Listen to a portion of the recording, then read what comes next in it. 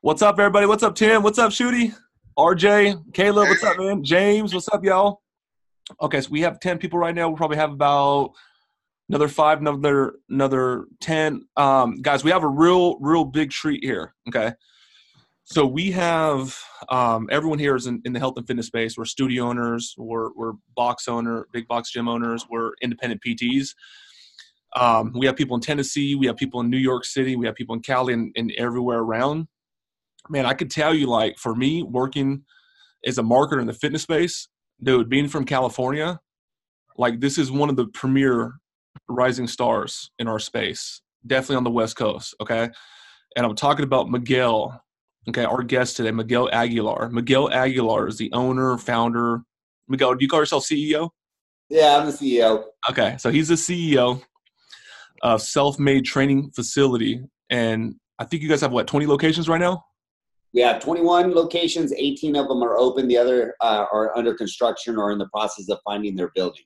I gotcha. So this guy here, his story, man, is is abandoned, homeless, and broke. Okay, so this dude's like, like a what, what were you like 16, 17 years old, living in his car, yep. a student, athlete, uh, state ranked wrestler, working uh, graveyard shift, and and you know having some success, having some wins, having some disappointments, and and and now he's you know doing his thing with self made training facility. I could keep going, but uh, Miguel, man, who are you, man? And welcome, brother. Good to see you, man. I appreciate that, man. I appreciate the invite. And then, uh, uh, yeah, just uh, one of those things where being an athlete, you know, since the, the age of about eight or nine, I've been wrestling. So I've always had that mentality and, and that, that blood in me of, of competing. So I've always done really well and excelled in the things that I actually commit to uh, and become super successful at it. But then the same token, have uh, developed these skills from you know a lot of my setbacks if it wasn't for my setbacks, I probably wouldn't be having this conversation with you guys today. Uh, I always look at those as a, an advantage in my life and a disadvantage in my life. Um, and everybody has them, you know, it's just what you do with them to really be able to uh, evolve and, and, create something amazing out of those setbacks. You don't know quite what it is in the, in the heat of the moment or in the moment in itself, but within transition and then the proper actions to overcome those setbacks, then it, things become into fruition. So, but yeah, I built, you know, self-made training facility out of my garage. I started, uh, me and my wife started this concept out of my garage. Uh, I just got out of bankruptcy. I, I um, so basically what happened is I, I, got into real estate right after uh, working as a commercial plumber. This was in 2003 and in real estate, uh, super successful in it. Made my first million when I was 27 years old. Don't have a college education. Barely graduated high school. Uh, like uh, Michael saying, I you know I was abandoned by my mom when I was 12. Uh, by the time I was 16, I was homeless. I was living out of my car. Uh, my father, uh, where my mom dropped us off with, my father within you know a few years after dropping us off, he committed a crime that landed him in prison for 22 years. So my stepmother kicked me out because she couldn't afford to keep us, and plus she didn't like us. You know, we were we weren't her kids, and the crime that he committed really kind of hurt the family. So she pretty much packed our stuff and said, "Hey, you guys got to figure it out." So at the age of 16, being in the system before, I decided not to let that uh, define me and my brother. So packed our shit in the car, got in the car, uh, and and made it work. You know, slept in alleyways. I would shower at Bally Total Fitness. Uh, luckily, I, I was a wrestler, and my wrestling team was like my family. So I kind of, you know, went from friend to friend to friend. And then finally, my assistant wrestling coach uh, asked his dad if I can go ahead and sleep on their floor while I got on my feet. So Chris Gillespie, uh, my assistant wrestling coach, got me into his door, and provided a home for me for the first six months. Uh, uh, uh, at well, six months living on my own out of my car. Six months thereafter, I had a full time job working graveyard. My senior year in high school, and I had my own apartment by the end of my senior year. So barely graduated, uh, and then from there, got into commercial plumbing. Uh, I hated it. It just wasn't for me. Construction, I love building things, but I just couldn't deal uh, with uh, the way things would be run in, in the construction field. I was working to become a apprentice from apprentice to, I mean, a journeyman to an apprentice to a foreman to eventually owning my own construction company. So by the time I got to my journeyman's, I was in my process of uh, becoming a foreman. But in that same token, I had people above me that didn't want me taking their position. So working underneath these people, they would uh, uh, basically let me do all the manual work, all the manual labor. And I, right. at that point, I was not going to let somebody else control my my life. Uh, and I bitched about my job a lot back then. I, I, I would complain everywhere I could. Uh, if someone asked me how my day was, I'd tell them it was shitty because I was doing this at this desert, working at this job site with this individual. And, and Miguel, you're, you're like in your early 20s at this point, right? Yeah, I was and from the age of 18, 19 to about 22, uh, 23. And in that same token, at that point, I, I was over it. And when I did complain, I was uh, I was always uh, I was dating this girl. She uh, her father would always invite us over for for dinner, and then this girl's father was an actual real estate agent, a broker. He was a bigwig. He he made a lot of money. He was very successful at it. And then from there, uh, every time I'd come over for dinner, of course, you know the conversation at their table. How's your week? How's your job? How's this? How's that? And I would bitch and talk shit every time. After three or four times of doing that, he finally told me to shut the f up and, and what am I going to do about it? I've never heard this man curse before, so it caught my attention. I was like, well, what do you mean? Was, it, was like, this well, dude successful? Was, was, was this guy was this guy successful? Oh, super successful. Oh, also, he knew. He's like, dude, you're this is bullshit. This is lies. Yeah, hundred percent. So at that point, he was like, hey, you know, what are you going to do about it? And I, I, I looked at him and I was like, well, I have no college education. I barely graduated high school. I don't know what else to do. I have no other qualifications or skill sets. And it says, you're wrong. And I was like, you need to sell real estate. And I was like, what do you mean? I was like, what is real estate? Well, he started explaining it. As he's explaining this to me, yeah, I'm visually seeing what this man has. He has the nice car, he has a nice home, his family's well put together. The guy is is legit as it can get. Right. So obviously, if this man's telling me I should do real estate and I want his life, I was like, all right, where do I sign up? No questions asked, you know? Right. So from there, I took my online courses, passed my real estate test. Within six months, closed two deals was equivalent to one year's pay as a plumber made $62000 off of two transactions after that i told my foreman didn't even give a two week notice told him to go fuck off and then i never looked back um, from there opened up my real estate brokerage within two years of being licensed i owned realty world and associates and at this point you got to take a, a poor kid from riverside yeah. no money no household no family no you know no no family whatsoever no parents um, everything I've learned was kind of on my own and the people around me that I, I kind of mimicked. Um, I wasn't really educated, so you give a lot of you know a young kid a lot of money. Of course, what do I go do? Go blow it, go do stupid shit with it. And at that point, by the time I was 27, I made my first million dollars. And at that point, I thought I was the king of real estate. Oh hell yeah! You know, I had a successful real estate office, but then I drove that office to the ground with my pride and ego.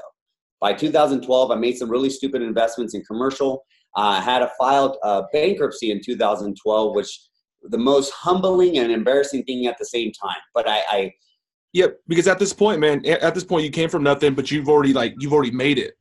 So probably knew you. You're like yeah. you're the dude. You're like Miguel's a guy, and then like probably you know the skies have parted. You know everything's beautiful, and it's like damn bankruptcy.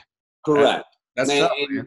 I was so embarrassed and so prideful that I didn't even go meet the bankruptcy attorney at his office. I had him meet me at a Starbucks. I said, "Hey, I'm not walking into your office. I don't want people seeing that I have to do this. Right? Like, meet me at a Starbucks." Damn. Um, ended up going through the whole process. Gave everything back. They ended up keeping some of my real estate assets, and and, and I basically wiped my hands and said, "Okay, moving on." In that same token, after we finally got discharged in 2012, December of 2012 we're accustomed to life. Uh, at that point, I was already married. I had two beautiful. I have two beautiful daughters. They were about three and four at that age. At that time, and I ended up uh, uh, having my wife come to me and say, "Hey, look." She was a personal trainer. So I was, "Hey, why don't we train people out of the garage to make ends meet until we get back on our feet?" So I was like, yeah, that's a no brainer, you know. So I ended up, uh, I have a bunch of classic cars. I have 59 Impala, Chevy, uh, yeah, a bunch of cool classic cars, right? Uh, ragtop with the LS3. I mean, totally decked out cars.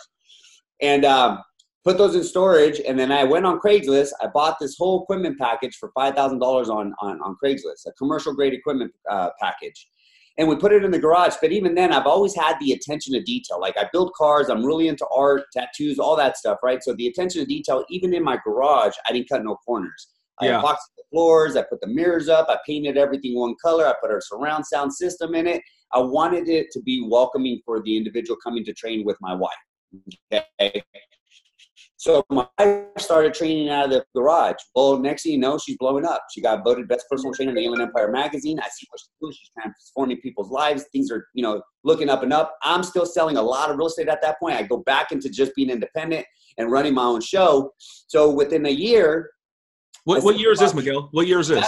How long ago was this? Like five years ago? 2013. Yep, Gotcha. 2013. Okay. So 2000 December of 2012 is when we got discharged from our bankruptcy, Yep. and then 2000 uh, January of 2013 is when we started reestablishing our life.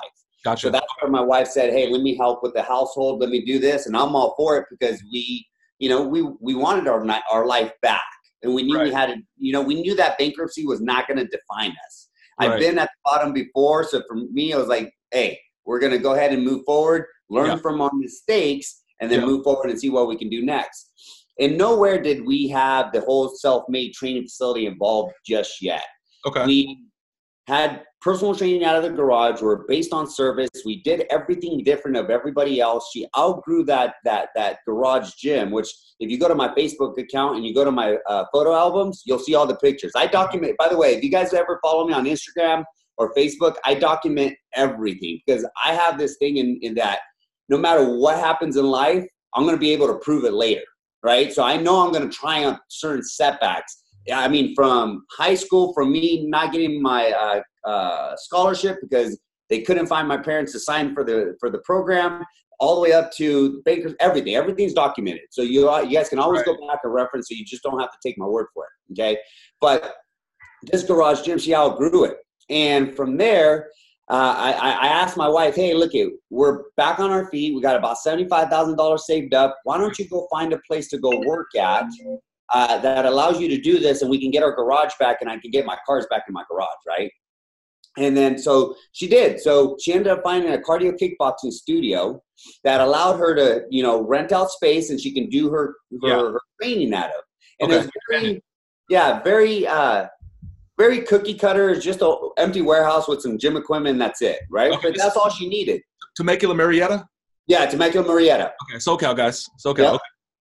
And then from there, she went, and at that point, I sold everything out of the garage. I got rid of everything. My cars were back in the garage. Not even 60 days later, I would say between 45 and 60 days, give or take, the gentleman that owned that studio closed his doors out of nowhere. Didn't give her pre warning, didn't allow her to allocate her clients somewhere else, didn't allow her to go. So, so out of nowhere, everything was closed. And she comes back home saying, you know, babe, Miguel, can you can you put the garage gym back together for me so I can keep working because I love it. This is what I love doing. She's had amazing career changing people's lives through health and fitness, right? And I, I experienced all this. So it's very fulfilling to watch and then watching her do her own thing. It was, it was awesome. So I said, look, I don't want people back at my house. Why don't you go work at, you know, these corporate gyms? You Right. got 24 hour LA Fitness. And by no means do I ever uh, when I mention these names, is belittle, belittle their companies. Is what I'm saying. This is a reference, right? Because this is what we did. Right. And so I sent her there. She went in on the interview process, and of course, um, we didn't know how devalued the personal training industry was in corporate gyms. Okay? Yeah. Yeah. I heard Um, you say that. She went there. I mean, you're talking a girl that's changed people's lives, voted best personal trainer in the Inland Empire magazine, featured in magazines for what she's done and the transformation she's done. And you're telling me that you're worth minimum wage to maybe after three or four years, you can become a master trainer and make $24 an hour. Right. Well, the company is charging $65 for a half hour or 85 to $120 an hour session. That right there was dumbfounding. But at first I was like, okay, they're providing you all the equipment, all that stuff. I get it. You get the walk-ins, but you already have your book of business, so you don't need that. So she was very upset. The other aspect was that personal training is a very creative, it's almost like an art form, right? These personal trainers in these big box gyms were limited to a box. If you stepped one foot outside the box, they fired you or they said, no, this is not compliant to what we Yeah. And I get it. There's got to be rules and parameters and, and, and things that you need to follow. But when it comes to health and fitness, it's a very diverse industry. There isn't really no right or wrong way of doing it. It's what works best for them. right? So they took that out of the equation. Then they couldn't give out nutrition. Then they couldn't do anything outside the programs. So if Yeah. somebody can only afford one or two days a week, what about the other three or four days? There's no management. There's no constant contact. There's no real personal training. It's called personal training for a reason, right? So there was none of that. It was all outside the picture. So she come back after three or four different interviews at three different big box gyms. I said, you know, forget it, babe. That's not your route. We're not going to go there. And at that point, you're not. You don't need to work. You're just going because you love what you do. So Right. it's not going to be worth. Who's who's who's there to tell you what your self worth is? Minimum wage, twenty four bucks, while they're keeping 70, 80 percent of the revenue because they're Yeah. providing you the metal, right? Right. So then at that point, I say, hey, let's Google some studios up. So we Googled some studios here locally, and we found some, and and, and some that kind of do the independent contractor aspect of uh, of, uh, of personal training. So we found some.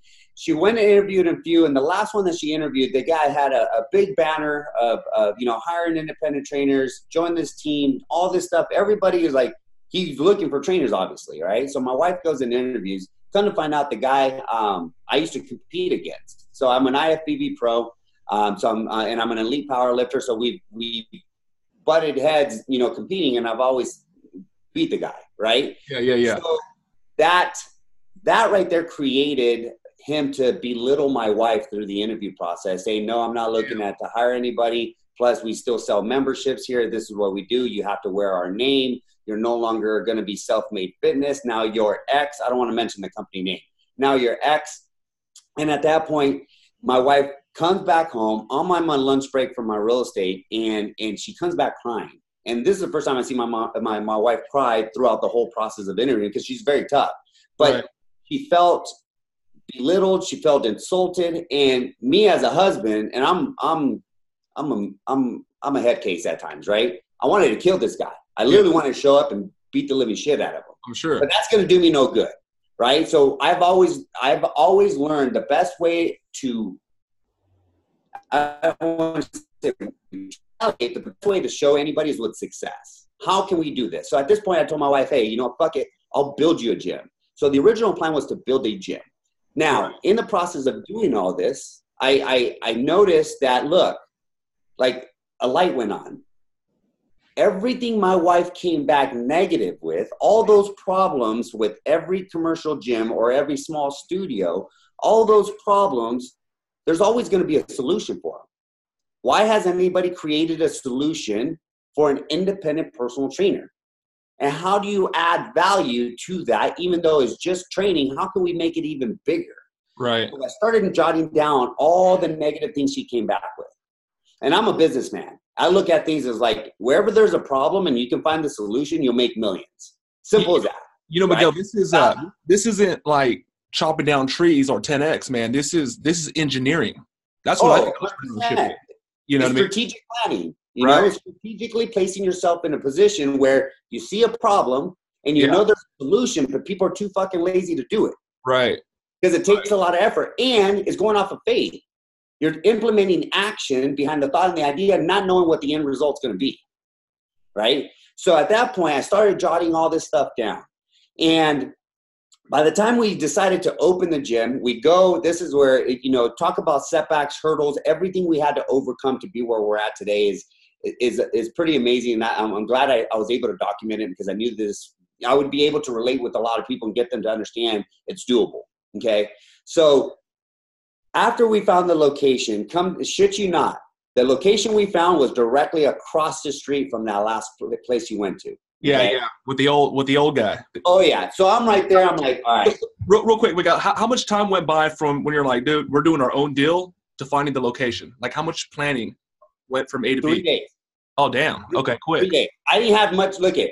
I'm a husband, and and and happy wife, happy life. Oh, hell I, yeah. I live by that, right? Yeah. So I said, I told my wife, I actually gave her an un, and I know real estate, okay, an unrealistic dollar per square foot in a building. I said, if you find this, babe, I will get you a gym because she wanted the garage right away. She had, to, you know, she had to keep her clientele going. Right. So that number I gave her, literally three days later, she found it, and she said, the day I left crying that facility, I saw this billboard there with the number saying they're leasing.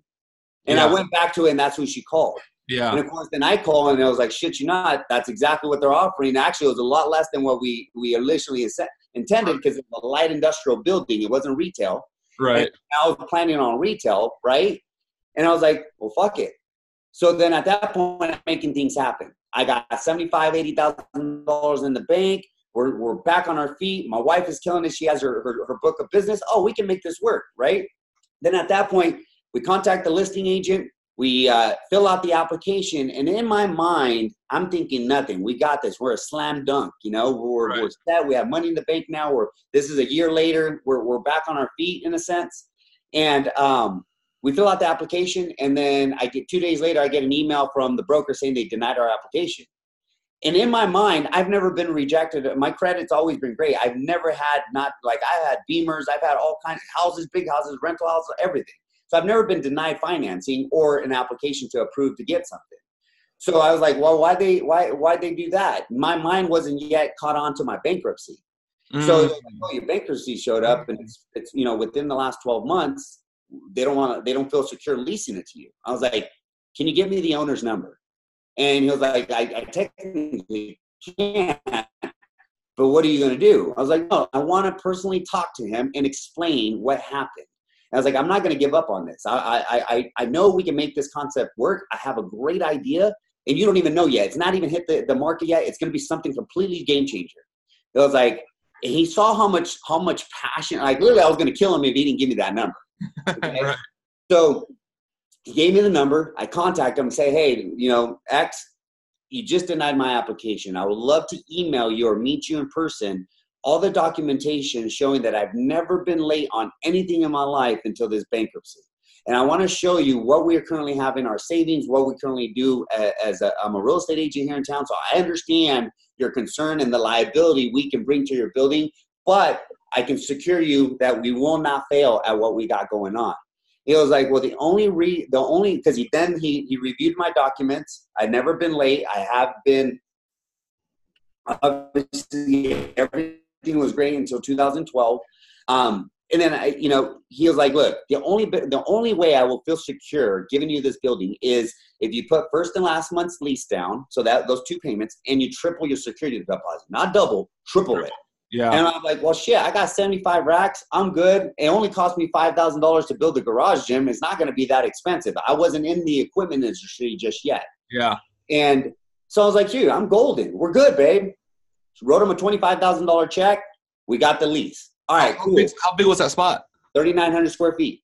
Okay, got it. Okay. So it was a decent size. We we noticed that yet again, all my homework that I did in three days, I literally once I get affixated to something, it's like my addictive personality. I do have an addictive personality. I I, I don't let it go until I get bro. all the answers and then move on. It's right? a gift, man. So that addictive personality, I, di- I I dissected every big box gym. I dissected every little private studio. I dissected every CrossFit gym. I did it all. And at that point, I was like, all right, I'm good. But the thing that I did not dissect and I did not do much attention to because I was uh, fixated on a number through Craigslist is what the cost of a build out was going to be. You know, between flooring and, and yet again, you go to my Facebook, you'll see all the pictures. I literally kid you not. If I'm going to do something, I do it right the first time. I cut no corners. Okay.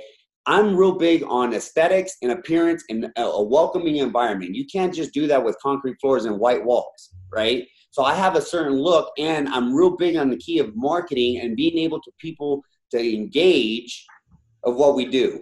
Okay, so yeah, so this is this is a self-made training facility. This is our our, our corporate headquarters right there. Okay, our very first location. By the time I got to the mirrors and the floors being put in, rubber flooring, which I didn't know what the cost of rubber flooring was, and it's pretty expensive. The glue plus the quarter inch, it, I mean, it's not cheap stuff. Um, and then also, you know, painting the walls black, getting everything dialed in. By the time I got to the mirrors, I ran out of money. My 50 grand out the door. I'm closing deals, trying to make things happen. And I was like, shit, what do we do here? Right? Another setback. At that point, I told my wife, hey, we're fucked. Um, and she was like, you know, we can make this happen. I started, I sat back. I was like, all right, what do I have that I can sell? I sold my 1970 Suburban. That's how strongly we believed in this, this, this concept. Okay, I gave up things that I was super passionate about. My cars are my cars. You, you take a poor kid from Riverside, like I said, it's and I built these from the ground up. Every car that I've ever built, every classic car, even my new cars, I built them from the ground up in a sense of modifications and whatnot. So I was attached to this 1970 Suburban. It was an original three door. It's a very rare 1970 Suburban, worth a lot of money. I ended up selling that. Uh, then I put my Road King. I still didn't have enough money after selling that. Then I put my Road King, which was featured in November's issue of Hot Bikes, custom out Harley bags, sound system, the whole nine. How to sell that to make ends meet to be able to finish that gym, not knowing this was going to be where we're at today. So, right? so let me go. You drop 20, 25 stacks, and then you start selling your your car, your bikes. How, when did that happen? How much time went? That, that happened after I got a rid. Uh, so I had 75 to 80,000 give or take. I dropped 25 on just the lease. The other 50,000 went to flooring, renovations, paint, because they gave me no tentative improvements. At that point, I didn't know about tentative improvements, right? So by the time I got to the mirrors, so the floors were in, the paint was up, and the mirrors were up, and I was down yeah. to like my last thousand bucks. What, how, how, how much time went by? Oh, dude, it was only like three weeks. Damn. Okay. You know, we only had two months of basic rent, so we had to get this place up in, in 60 days, or else we have overhead and I have no no no equipment. So even then, I sold everything, ended up piecing everything out, and even the pictures that you see now, the the original Murrieta location looked exactly the same, but this time it was all refurbished equipment. I wasn't willing to half-ass anything. Yes, I can go to Craigslist and buy all the equipment. You'll have some gray equipment, some white equipment, some black equipment, all multicolor, right? But there's no culture behind that. There's no emotional attachment to your facility because it looks like shit, right? So what I did is I powder coated everything. Everything was red. Everything was black. I did the graffiti. I'm from Southern California. I grew up, uh, you know, tagging. I was in the gang scene the whole nine. So I, I love that Southern California vibe. And I said, I'm very artistic. So like where our champions are self-made, that's all original graffiti. All, all, all uh, uh, it's not no, no, no, uh, no stencils. It's all original. Okay? Yeah. Uh, so by then, we started marketing for the people that were just like my wife, looking for independent contractors that wanted to take their passion and create a career out of it because in corporate world there's no way you can look at you're more of a salesman than anything else. You have quotas to meet because they have quotas set for you while you only get 20% you're making them 10000 keeping two okay? At that point there's no value. Now you're also doing an unjust service to the consumer because you're having to upsell them to make a decent living when in reality they don't need all that garbage. They need the real stuff that you want to give them, but guess what? You have to upsell them to get that. That's fucked up. You're changing people's lives. You're look at a personal trainer does two things in my perspective because it saved my life and it improved my wife's. Two things. A personal trainer will either save your life if you're overweight, going through obesity, going through a divorce, depression, suicidal, whatever that case may be, personal training is a positive outlet. Natural endorphins, you're naturally going to be happier when you train. Well, guess what you just did? You saved his life. That motherfucker was about to have a heart attack or a stroke because his health was shitty, or he was about to go to be a type 1 diabetic, which my wife, she's type 1 diabetic. And I know how that struggle is. You might be type 2, but you're right on that verge of going type 1. Then you're really fucked. Guess what? You just helped him lose 60, 100 pounds. No longer are they even type 2 diabetic. So yep. you're saving somebody's life. And then two, you're improving somebody's life through health and fitness. If it wasn't through wrestling in my in my gym, you know, me loving the gym so much, I probably would have ended up in prison, dead, or, or, or who knows, right? Also, you may have a high school kid that wants to play varsity ball. He's going, you know, from his middle school going into the transition of high school and he wants to play varsity ball because he wants to turn pro he wants to go to college so get on 10 pounds. What are the mom and dads going to do? Hire a coach? This coach helps him put on 10 pounds? Now he's playing varsity next year he's playing college ball next year he got drafted to the nfl how in the fuck did you not just improve that kid's life? Oh hell yeah. Right? Or you're a competitor or you're in that sense uh, uh, uh, competing in jiu-jitsu bodybuilding whatever it is. You're progressing. You're you're doing something positive with your body it's not just exterior internally i mean everything from emotional from your from uh, spiritually to, to mentally everything personal training is more than just the exterior so why should these guys get devalued right so i created this concept for personal trainers to excel as personal trainers and create a career out of something they love doing. So, now, Miguel, I'm sorry, you're on a roll, man, but let me interrupt real yeah. quick. So he has a completely different business model. So we know about the Fit Body Boot Camps, the F45s. We have clients and students that are, you know, F45 Fit Body Boot Camp. What Miguel does is he sells his franchises. You know, they're they're built out, business in a box, but that owner is actually the owner of the facility that leases space to independent PTs. So now that space is a freaking home, a hub for like 40 freaking businesses. So that's like just a totally different model. We know about that, but Miguel, that's what he does. And, and the thing is that you have to remember anybody can anybody can build a gym. We get that. Anybody can put equipment inside of a facility, and we get that. I've studied people that do that. The problem is that they, they, they tend to forget the culture that they need to develop to create the revenue that they want right? People want to be associated with something positive. People want also value over the dollar. I, for the first time, because I failed in my real estate brokerage, I understood that one, my pride and ego is gone. Look, at I'm an IFBB pro. I could have called it Miguel Aguilar's gym by IFBB Pro Miguel Aguilar, whatever. Autumn could have called it Autumn Fitness. She could have called it Aguilar Fitness. But that you can't, you can't, you can't, you can't, you can't relate with that. I don't want somebody building my name. I want them to build their name. That's why we called it self-made. You know, we trademarked it. We ended up building something that is considered to be a platform for the elite of the elite that want to really take their business to a whole nother level. And it doesn't just stop there. Look, when you come as an entrepreneur with us, you can only have so many hours throughout the day, right? You can only train so many hours throughout the day. And time is the most valuable thing on this earth. It's worth more than money. So if I can teach you how to leverage both, which I do through my entrepreneurship skill sets that we provide through Self Made Academy, but we teach these trainers how to develop an online business, how to develop their one on one business where it's created to benefit not only the consumer, but their time and reap. Most of my trainers, a good, I would say 60 to 70% are over six figures. The ones that are not are the ones that are not implementing every tool we give them. Because put it this way, they're not my employees; they're my partners in business. Right. So my as my partner in business, I give them the tools and resources to be successful. We created an online nutrition app which is, which is managed by 27 dietitians, so it legally protects them to give nutrition guidance to the mm-hmm. consumer through our app. Our app is free to download, but you can't use it unless you hire one of my trainers. Yeah. So now when you have, especially like I don't know if some of you guys are online trainers, take this to heart. The industry's fucked up. It's fraud. You got people giving out templates for $50 templates, $10 templates, and everybody's eating the same shit.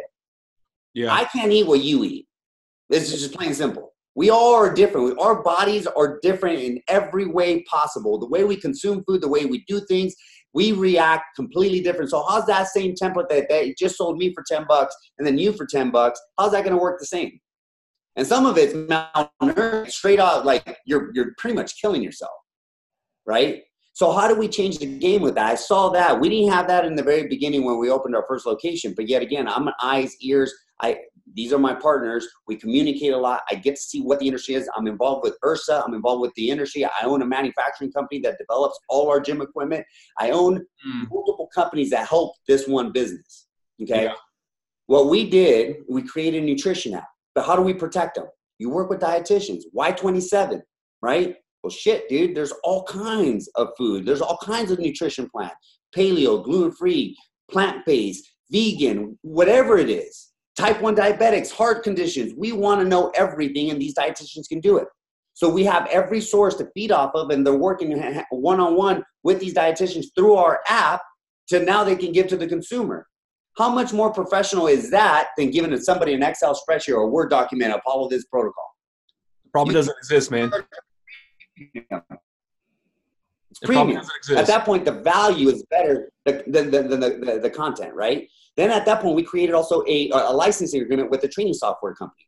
This training, we have on our server, we have endless amount of space. A trainer can upload all their videos onto our app and now train the client or the, uh, the consumer through virtual training. Yeah. And it's yeah, not so Joe Schmo, even though we have those. We have endless amount of videos that they can use if they want to in the beginning. But right. we coach them to say, hey, Add the value. If I hire you as my trainer, I'm paying you $500 a month for online training. Why should I have John Doe tell me how to do a bench press? Right. So right. we put these guys on video. We have a videographer, a photographer on staff. Like we built a multi-million dollar company on Instagram. Simple as that. You go to my Instagram account, uh, Instagram account, which is Self Made Family Inc. That's my personal account, Self Made Family Inc. And then my uh, business one for the corporate headquarters, Self Made Training Facility. Okay, follow those two accounts. It's in the comments, and you'll see what I'm talking about. Attention detail. What's that? We drop it in the comment section for you, for these Bro. guys. Oh, dope. So, and then at that point, also look, that training app, merge it with the nutrition app. Now you're a full on online trainer. So imagine giving this to the consumer. You give them a seven day regimen, you know, a workout regimen, a cardio regimen, a supplementation because you're the expert. Remember that. And then you also give them a, uh, uh, a mentorship coaching regimen out of it. This is a personal relationship you guys are building with the consumer. So you're coaching them. So why not include that? Hey, once a week, I'm giving you an affirmation to follow. Once a week, I'm going to give you a motivational talk or at least guide you or talk to you of what's going on for that week or every other week, depending on your time.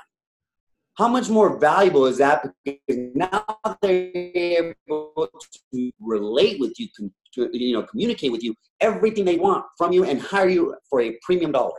Instead of giving somebody a $50 nutrition app that or a $50 uh, template nutrition, now you can charge 500 bucks. You've just quadrupled your income with one hour because of the value. So we provide that to all our trainers, all our staff has it, all our independent contractors. But the problem is, this is the the the hurdle that we've always overcome because of the trainings that we provide. But when you take an employee mindset and put them into entrepreneurship, it's completely different. I'm not telling you you have to show up nine to five. I'm not telling you you have six sessions today for 12 bucks an hour. Right. So you have to put in the work. But I tell these guys, I can take you the water, I can't make you drink it. Even though I would love to shove your face right in it because it tastes amazing. Right. You know? So that's where we do ourselves different from everybody else. When we created a, a platform that has already been around for ages, independent contracting studios have been around for years, but no one's ever tried to perfect it. And that's my mission. There's a problem, I'm going to create the solution with value. There is no competition to what we do because in all reality, we're evolving. Every year, we're adding even better and better systems. We're also evolving academies. We have Self Made Academy. We're an accredited certification course. NASM reached out to us. We partnered with them. And now we give free accredited certification courses as long as you join our team. Damn. I want your continuing education to be free. I don't want you to have that extra burden of having to pay 2500 500 bucks, whatever that case may be, to educate yourself to be a better trainer. Because guess what? If you're making more money, I have a loyal, committed trainer for life. Why would you want to go anywhere else for a low overhead?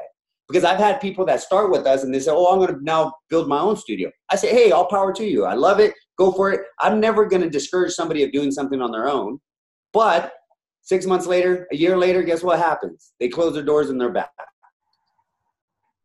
You, you know, you're talking about Why? Because of the things we offer for sex. But that- the, problem, the problem you solved, bro, was what your wife was facing when she was trying to Oh. do it. Big time, dude. That's the problem I that and I had to run with it. And the thing is, people were too scared to because they didn't look. Yeah, I'm in the people business. That's what I do. I get excited talking about this because I am in the people business. I come from nothing, so when I can see other people making a lot of money doing and something we've created together, Come on. fuck, you know how fulfilling that is. It's the best shit in the Not world. only do they get to put food on their table, but they're actually living. I tell people, look, when you come to us, I don't want you to live paycheck to paycheck like you're doing right now. I want you to live. You want to upgrade a car? Upgrade your car. You want to buy a house this year? Buy a house. I'm going to teach you how to do all that. And then Yeah. guess what? If you want to travel the world, set your schedule up to travel. I tell all my people, eh, like entrepreneurs out there, always, oh, I'm seven days a week, 24 7, 24 7. Bullshit. I have a family at home. I'm a, I'm a father and husband first, right? I set my schedule Monday through Friday. I don't work weekends. That's luxury, but I put in the work first. I get everything done within those days. So if you're in, the, in that that in that sense where you know money doesn't motivate you, but time does, fuck it. This is a platform for you. So that's what we teach these guys. You know, we we help we help them understand their true potential and something that they're so gifted in. You know, yeah, my dude, he's got that SLFMD hoodie. Who, who are we looking at? Um, Tyler. Oh, oh man, you're self-made, yeah. bro. we have a couple self-made cats, Miguel. that I Oh, dope. yeah, Yeah. And so they know what I mean, you know. And it, it, look at, it's hard to digest that somebody really does give a fuck, that really cares, because it's it's a very it's a very rare thing for people to do. You know, they're always chasing money, so they see you as an object to get more money. Corporate worlds have done that. You have a corporate manager or a gym manager only boosting you to make more sales so they can get a higher bonus check. So the more time they give you, the more money they make while you sacrifice everything on the table and you get the, the crumbs, right? With us, imagine having somebody come to you, try to motivate you to understand the beautiful thing of entrepreneurship as a personal trainer and continually enforce positive and, and, and tools, systems, everything to be successful and I don't get a piece of that pie. You made 150 grand this year? Dope. I still got my flat fee per month. That's it. You made only 50,000? No problem. We'll get you to 100. Yeah. We still keep coming back. And my responsibility as an entrepreneur and as the owner of this franchise is to be able to give as many tools and systems for these guys to be successful.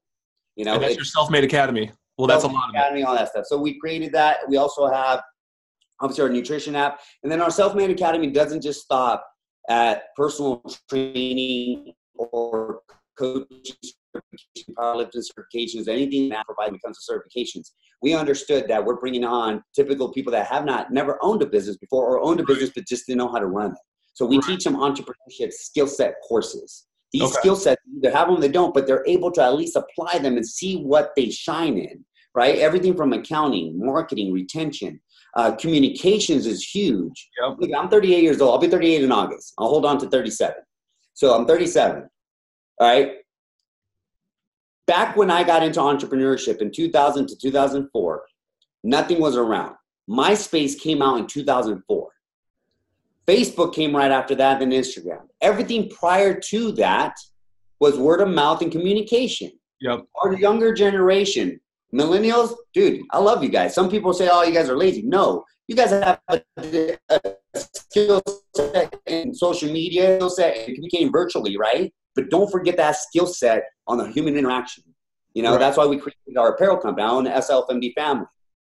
You know, the apparel company that we created is to piggyback off a self-made training facility. Right. It's indirect marketing. Which feeds into the culture hundred percent. Who doesn't yeah. want to be a part of the family, right? They love rocking that, man. They love rocking that. I see those cats all over social media. Right. You know, and, and, and what it does, it creates a person to ask, hey, what is the SLFMD? Oh, it's a private personal training that I own. I'm over here in, in Corona. This is my business card. You ever need help? Let me know. You're planting seeds. Everybody should be farming every day. Yeah. Every day. That's where communication comes a key. You know, just looking at somebody in the eye is a skill set when you're communicating with them. You know how many young people I have interview and they're like, they don't know what to do with their hands or face or anything. Yeah. But on social media, when they typed out this long resume, dude, I this guy's golden. Right. And I'm like, whoa, what happened to that guy? Right. Completely different. Right. So we teach those skill sets, right? And we understand that everybody learns differently. So we have an online course as well on the back end. So everything is reachable through our back end system that gets launched in May. So we understood that training is it's key to success. And what I mean, not not personal training, training the mind, right. the heart, the physical, everything, everything as a whole, as an entrepreneur, is overwhelming, right? So we ended up creating a module system on our back end, on our website, gets launched this May. We invested a lot of money into this thing, okay? Where it's an interactive system to be able to train and onboard all our franchises and trainers. All our trainers will now have a login and password to be able to come into the system and, and onboard them. Everything from social media marketing training that is interactive. They're going to have to answer questions as they're reading and listening to the videos. And, and Miguel, Miguel, they have to start all over again. Miguel, what happens is with and that dude, before the they even start with us, the message is the same. When yeah, somebody exactly. goes like that, it doesn't get. It doesn't it's get not diluted. It, it, yeah, there's no exactly. telephone, right? It's not right. that telephone where you goes from one person to the next to the next. No, and right. everybody's streamlined exactly the same. The right. difference is how they apply it. Because right. I tell everybody, look, you don't want to be Miguel Aguilar by no means. Don't copy me, but mimic. Mimic the the the actions I took to be where I'm at today, so you can do the same thing. Come on. I'm no different. I don't have a college education. I barely graduated high school. I have no family. I, I couldn't qualify for a loan if I if I wanted to back then because of, of the bankruptcy. So literally no handouts. When everybody has these hurdles, don't cry over spilled milk.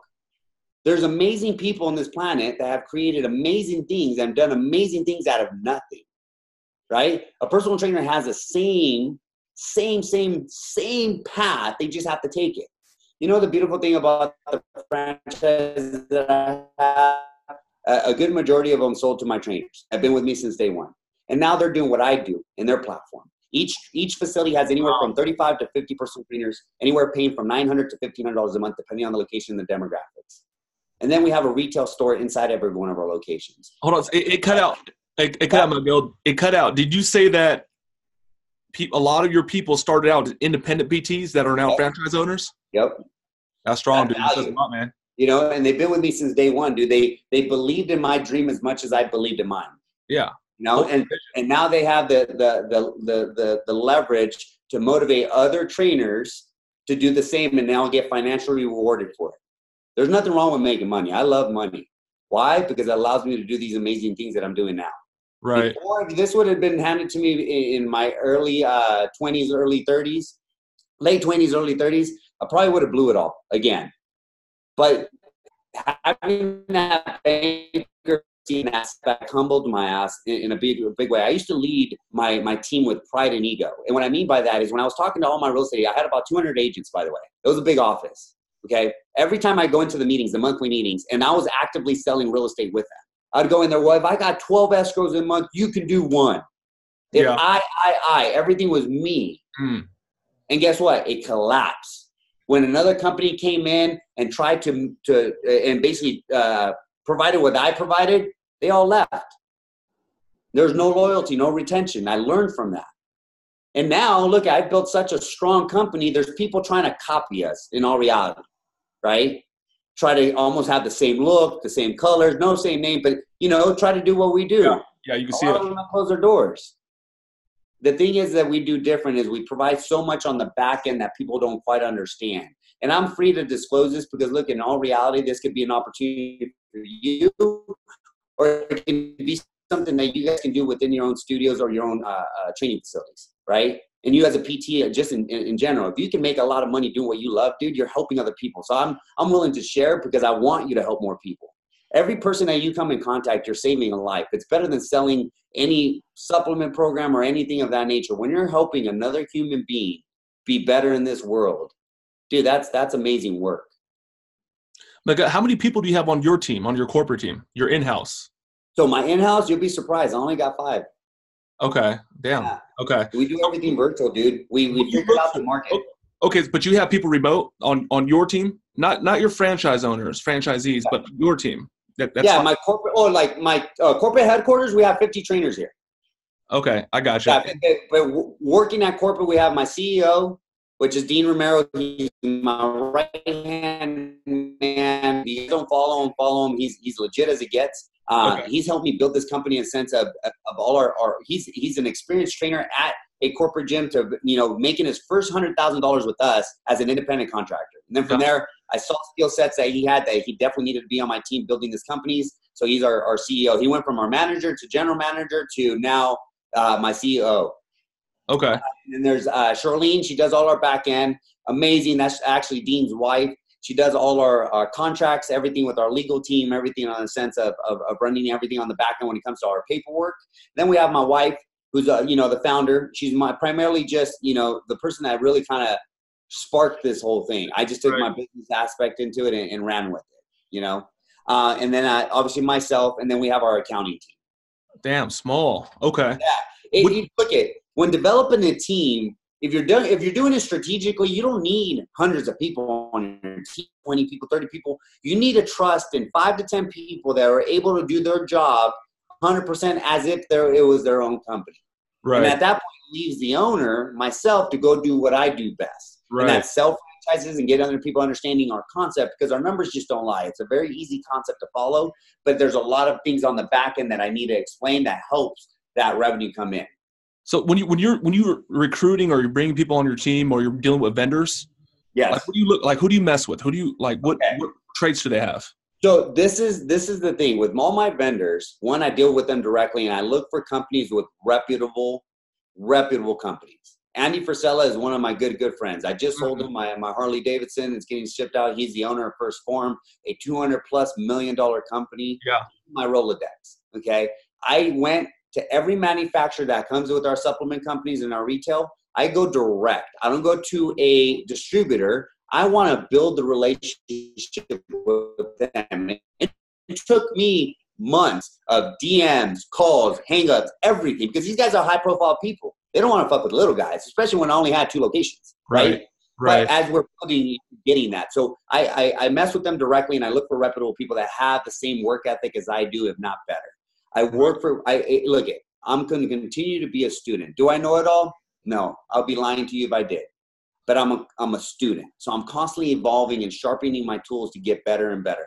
I, I talk about chasing perfection, right? Knowing damn well I'll never be perfect in this world. But when you're chasing perfection, guess what you're doing? You're evolving, you're growing. And if you're growing, you're bringing in amazing things into the platform that allow you to elevate to a whole nother level. Never be content. Just right. when you got it made, someone can come in and take it all from you. Right. So how do you level up? How do you progress? And health and fitness, you guys all know it's always evolving, always changing. If you're staying stagnant, what is that going to do? You going you going to become extinct, man. Yeah, you'll be a dinosaur, bro. So, so, you, you said be a student, always progress. Who like who are you watching out there right now, and like who's influencing you? Like like. So Andy Frisella is always influencing. Yeah, he's he, dope. He's legit. Grant Cardone, real estate. When it comes to real estate, Grant Cardone's a man. Uh, you know, Tony Robbins has always been a fan since I was a kid. Okay. Uh, who else? Uh, you still doing your development? You still listening to your, your tapes and audios and? Oh, I read, dude. Yeah, yeah. right now I'm reading. Uh, so if, if, you guys want to read a good book on how to lead your team, is uh, um, uh, Extreme Ownership. Extreme Ownership is by far one of the best books I've read when it comes to entrepreneurship and, and leading your team and understanding that it starts and ends with you. Everything starts and then there's no bad teams. There's bad leaders. Got it. Okay, there, um, we're getting a couple questions, and someone wants to know. Uh, let me see, who is it? Mark. He said, "Any plans to open up an ATL in Atlanta?" Dude, we actually had two inquiries last week on ATL. So with ATL, we're definitely look. We're going to be in everywhere in the United States. There's no doubt about it. We actually had to stop selling franchises for a little bit because of um, we were growing so fast. This is where yet again my pride and ego was in check because of course I want to make Oh hell yeah. Million. For everyone we sell, it's nuts, right? So I want to make all the dough. I was like, hell yeah. But I knew strategically it would fail us. We would collapse within a year because we don't have all our tools and systems in line. But gotcha. ATL's next, Dallas is next. Uh, we're we can sell anywhere in the United States, and then we're finally working on our very first international deals, Mexico and uh, uh, Australia. Okay, there's a follow up. Mark Turner again. Uh, this has been an idea I've been looking for. I'm in Lawrenceville. Dude, hit him up, man. Hit him up on uh, social. Hit him up on IG. Hit me up, man. I Let me get that commission, Miguel. Down. What's that? Let me get that commission, player. For that. Hey, there you go. Okay, 10%. hey, hey, so do you ever turn cats down? It's not the money. I, I, look, I, I could have fit in the culture, maybe. I could have had 50 of these already, and I and I've turned down a good handful. And the reason for it we we we we're in the people business, bro. If you're not a people person and you're just yeah. looking at this financially, don't get me wrong, it's very lucrative. You'll make a lot of fucking money doing this. And dude, I get paid to lift weights. You right. know, I get paid to motivate other people to make more money. How not? How can that not be fulfilling, right? So it's it's it's very rewarding financially, emotionally, physically, and and and, and spiritually. But not everybody's cut out for this job. You know, I can't I can't take somebody's investment knowing that they will fail within a year. I just can't sleep at night. I won't. I won't do it. So yes, we've turned people down, but our qualifications are also very, very detailed. You're having a one-on-one conversation with me, and. I, I, don't go off of resumes because resumes can do so much, right? I go off of what people and how I can generally get the genuine person in front of me and really get to know them because I'm building relationships. These guys are my extended family. I tell every franchise owner that signs with me because our franchise agreement is for seven years and they can renew for another seven as much as they want, right? But they're attached to my hip for the next seven years. Right. You so, know, that's so my extended family. Are you are you pretty quick to gauge if this is going to work or if this is not going Oh to yeah, dude. Uh, that's another skill set that I have. 30 have. seconds, a minute, maybe two. Yep. Yeah, yeah, yeah. Okay, man. I I- have more questions. I want to open it up in a second. Um, dude, tell me about and th- this is a lot, man. I know. I used to. I come from GC's office. I used to be at office. Yep. And, you know, culture, bro, is like, it's it's it, that's it. You know. How the hell, dude, do you instill this culture? Because I see people rocking the self-made. They have the shirts. They have they they they have it. They they like it. Like, how the hell have you done that, man? Like, what's the secret? So when I when when I tell you I study and I I I, I honestly have such an addictive personality that I, I don't let things go very easily, and I, I look at every flaw, every company that had success, and then they started dying out. I'll use a prime example, uh, and yet again, it's not to belittle guys. So I don't want you thinking I'm putting somebody underneath us. I just observe and I look at a problem and how can I make it better. Okay, we had a huge, huge response from CrossFit, right? And with CrossFit, they had such a cult like following that was admirable. I'm like, dude, these guys Yeah. are like CrossFit or die, CrossFit or die. You walk into a box, if you're thinking about doing a regular pull up, you're you're wrong, you know? And and and and and they built such a good culture that they had huge success. Now, the problem though is not everybody is in CrossFit. Somebody has a different idea, different thought of what health and fitness is for them. So I opened up our demographic. I really cater to having um, all of us be brothers and sisters in a sense. That's why we call it a family. Right. You like CrossFit? Great, we have it. You like boxing? Great, we have it. You Got like bodybuilding? Great, I got it. Anything you want to do, we have. Besides the large group trainings like boot camps and things of that nature, because I, I think when personal training this craft is small groups or one on one. That's the only Yeah. way this works because Yeah. it, it- it's an attention to detail type of craft. It's not putting everybody in a group and, and a sardine group like sardine can and, and, and stuff them in there and try to get as much as you can out of it. No. You know, if someone wants to get involved in the sport or somebody wants to do something for themselves personally, personal training is one on one or small groups. Right. So I, I understood what that culture needed. It needed an open demographic and not a stereotype. You know, you don't have to have tattoos and buff to come to our gym. You can be an 82 year old man doing deadlifts. We're cool with that. You want to do calisthenic scale? We're cool with that.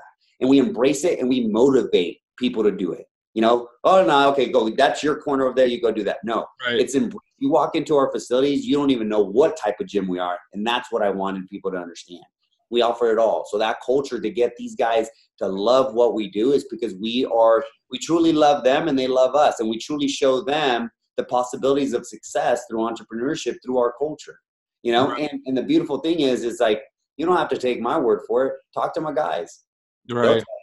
that's the best best word of mouth is is the best these guys are going to spread the love and then guess what we have athletes we call everybody athletes by the way we don't call them clients we don't call them customers these are athletes Mm. they're showing up to perform Right.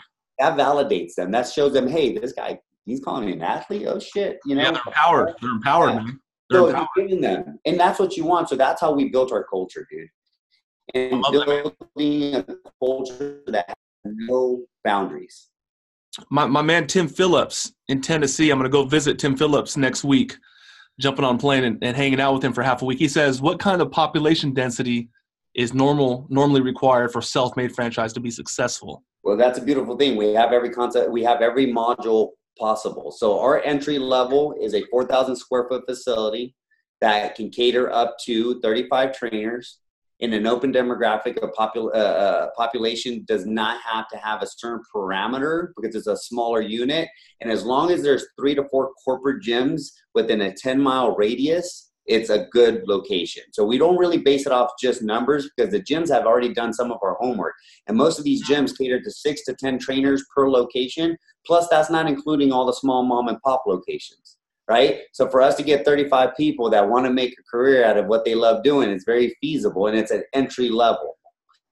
Then we go all the way up to 10,000 square feet. That was a bigger population like Orange County, uh, New Jersey, or Arizona, Phoenix, Arizona location is 10,200 square feet. Before he even opened his doors, he already had 38 trainers out of his 35. He's going to hit 50 for that location. And it's ample space and the way we lay it out. So I also own Collusion Fitness products. So Collusion Fitness Products, I also now manufacture all the gym equipment. All the gym equipment is catered to every shape and size. I've created some pretty unique pieces. If you go to my Instagram, you'll see them um, that no one has. So we have an open, dem- uh, an open geographic of being able to place these in any city, any state. But we're going to advise you, hey, ten thousand is not going to be feasible for you. Five thousand is based on these numbers and why. So I use my real estate background for the majority of those decisions. Man, you, your your businesses, all the ones that you just mentioned, man, they're all symbiotic. They all they all push each other. Uh, we have uh, let's see, Caleb Week. Same here. I'm in San Diego. I want to start training at the Point Loma location. I'm currently getting taught by NPTI by Mark Rodriguez, one of your trainers. Yeah. Yeah, yeah. Okay, uh, guys, you have questions for Miguel before we cut him loose? Questions, comments. Tim Phillips, how do you market to trainers to attract ones that have the right stuff? So that's a beautiful thing. Yet we also give the benefit of the doubt. We understand that a lot of these trainers don't have the experience in independent training. That's why we developed Self Made Academy. And, and we spent hours and thousands of dollars developing the system and being able to help them create this platform with us and those guys, we give them that one-on-one mentorship with each one of the franchise owners. So uh, franchise owners can manage 35 to 50 trainers easily through our systems and the software that we have and can mentor these guys to really in, in, an entry level to be able to start with us and be able to really make this into a business. So with us, we recruit a lot through social media. I've built a multi-million dollar company off of Instagram. In all reality, I'm not going to sugarcoat and say I did this and that. No, and I use no no high profile athletes. I didn't use the, the high influencers to build our company. If anything, they reached out to us to be able to use our facilities and we give them the opportunity to film and do their content there. Right. And we built the relationship with them. Like we encourage them. We appreciate them taking us as a consideration for a facility for them. And it, it, it spider webs. It basically expands and expands. There's no reach. Social media is the key to success in anything that you're doing right now when it comes to this type of concept or any studio. You have to be able to develop your culture online as well, not just one on one. You you guys put the swag in personal oh, oh training. Oh.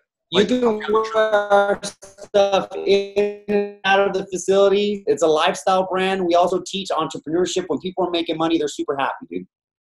Dude, I got I got one more question for me. One more question for me. So you said something in a podcast and you said, dude, it's, it's kind of crazy, but I could see what I'm going to be doing like in two years. Mm-hmm. You, it, it's, it's like your vision, right? And, yeah. and it, it, pretty much, you just, it comes to fruition, you know, yeah. what's the vision, man? Two years. So the vision is to be at 50 locations, if not more. Uh, we're definitely going to be in at least 10 states, if not more. Um, I'm going to help and develop over 2,500, uh, 20, uh, 2,500 trainers within that reach, uh, develop careers, and, and really help individuals uh, strive through success through health and fitness in an industry that can be very negative at times too. So I want to change the game. I want to disrupt the industry. I want to show people that if you you put value first over the dollar, you will be wealthy. You know, you make a lot of money while helping other people. So my vision is to grow as big as I possibly can. There's no end reach. Um, and, and, and be one of those guys that led the path for other people to do their own thing eventually, whether it be a franchise of ours or their own. You know, that's the beautiful thing. We encourage it. We don't look at anybody as competition. We see the value of what this can do for other people that may start with us as personal trainers. Now they're running their own CPA office, or now they're running their own real estate office we just don't know. And my my my goal is to disrupt the industry and bring value back to personal training, and that's what we're doing. You know, creating a headache for these guys that think they can take advantage of personal trainers in their craft. My man, my man. So so guys, this is you know the head of a freaking huge movement right now. You know, I reached out to Miguel. I met, I ran into Miguel at a at a MMA event, and I I reached out to him. I was like, hey man, I got these you know PTs, I have these gym owners, I have these studio owners could you come on, dude, to bless these guys with some with some gems? So this guy's like super generous. His first response was like, Mike, anything I can do to help, dude, I'm gonna go there and help these guys, man. And he's here. You know, you got people in the back. People are we're like, this guy is a guy in, in big demand. You know, one of uh one of our clients, he I think you ran into him today, Van, the PT. Yeah. Yeah. yeah. he was he's supposed to be here today. Oh no way. Yeah, man, that's my boy, man. It's a good guy right there. But uh, Miguel, dude, I just want to speak for the group, man. Thank you, bro. We really appreciate you, man. I'm gonna I'm gonna give you a holler in a second, but guys, go follow this guy.